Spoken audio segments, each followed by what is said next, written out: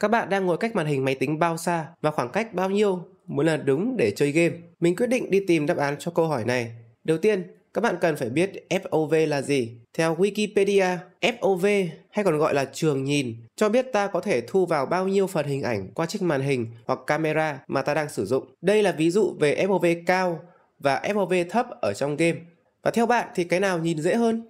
Chắc là bạn sẽ thích cái FOV cao đúng không? Đó là bởi vì bạn đang đặt màn hình ở gần mắt và màn hình che đi phần lớn tầm nhìn của bạn. Cho nên, não sẽ đòi hỏi nhiều thông tin hơn từ màn hình.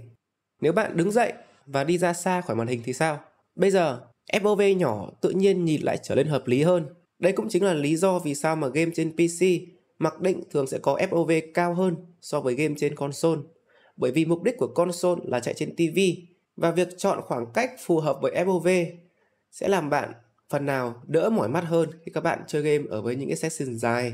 Với những game esports như Valorant thì chúng ta không thể nào thay đổi được FOV của game, nhưng chúng ta có thể thay đổi được khoảng cách bạn ngồi đến máy tính. Vậy tính như thế nào? Đầu tiên các bạn cần tìm FOV của Valorant. Nó khá đơn giản, các bạn chỉ cần vào game, tìm một cái sàn phẳng như này và gồm các ô vuông thì càng tốt. Sau đó các bạn chụp lại, sau đó chúng ta tiến hành đo đạc. Sau khi gán thành công thì mình thấy rằng là FOV của Valorant là 103 độ. Bước thứ hai, ta lấy thước và đo chiều dài của màn hình và mình đo được chiều dài của màn là khoảng 59,7 cm.